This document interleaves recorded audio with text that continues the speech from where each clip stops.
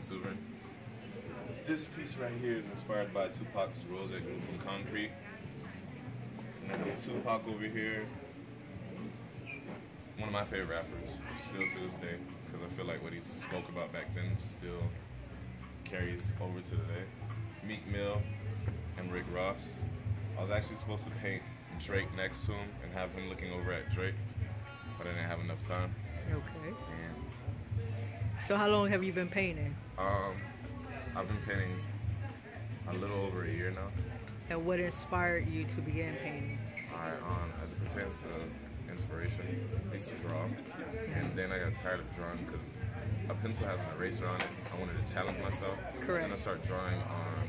I worked at a um, telemarketing place, and I started drawing on the foam, the styrofoam cups Correct. with a pen, just to challenge myself.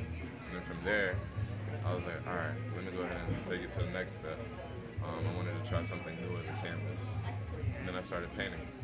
And the things that I first started painting, I didn't like too much compared to now. I'm still growing though, so it's cool.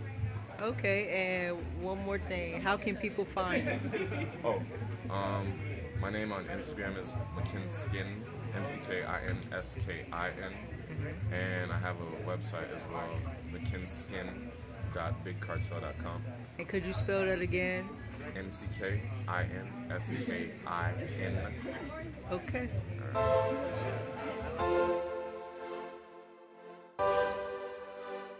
Welcome to my world, yeah.